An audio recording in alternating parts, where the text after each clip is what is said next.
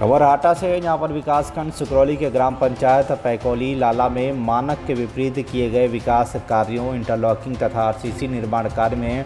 अनियमितता का खबर प्रसारित करने को लेकर प्रधानपति प्रेम चौहान, पुत्र श्याम बिहारी चौहान द्वारा जान से मारने की धमकी देने का आरोप लगाते हुए संवाददाता सत्यनारायण चौरसिया ने प्रभारी निरीक्षक हाटा को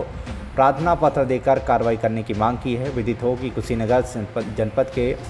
विदित हो कि कुशीनगर जनपद के हाटा कोतवाली के अंतर्गत ग्राम सभा, पैकोली लाला निवासी, संवाददाता सत्यनारायण चौरसिया ने प्रभारी निरीक्षक थाना कोतवाली हाटा को दिए गए प्रार्थना पत्र के माध्यम से अवगत कराया कि ग्राम सभा में ग्राम प्रधान द्वारा कराए गए विकास कार्यों इंटरलॉकिंग तथा आरसीसी निर्माण कार्य में अनियमितता बरती गई है, जिसकी खबर मेरे द्वारा प्रसारित की गई थी तथा मुख्यमंत्री जन सुनवाई पोर्टल के माध्यम से ग्राम सभा में मानक के विपरीत किए गए विकास कार्यों की शिकायत भी दर्ज कराई गई थी। चार मई को विकासखंड कार्यालय सुकरौली के ग्राम पंचायत सचिव एवं जेई स्थलीय निरीक्षण करने पहुँचे, जहाँ ग्राम प्रधानपति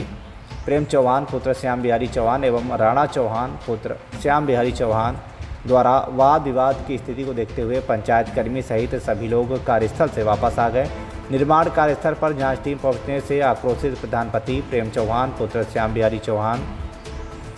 राणा प्रताप चौहान, जीतन चौहान, राजेश चौहान चंद्र सेन चौहान, पुत्रगण आदि लोगों ने संवाददाता के घर के संवाददाता के घर पर जाकर अपशब्दों का प्रयोग करते हुए धमकी दी।